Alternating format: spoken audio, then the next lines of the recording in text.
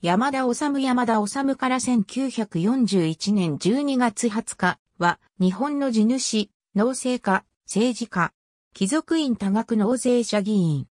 越前国境郡一本田村で、豪農、山田城の長男として生まれた。1888年明治法律学校卒業。父の死去に伴い1892年家督を相続した。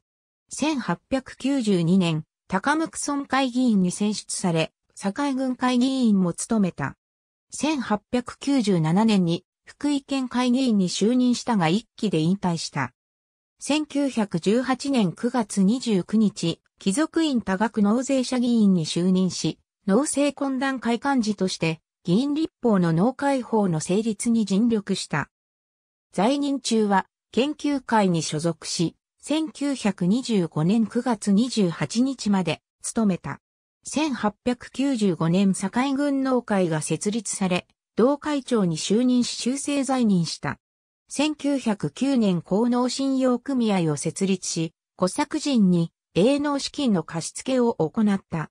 福井県農会副会長、同会長、帝国農会議員などを務め、小作制度、農業金融などの課題の解決に尽力した。太平洋戦争開戦時は、県農会長として食料増産を推進した。1941年死去。76歳。ありがとうございます。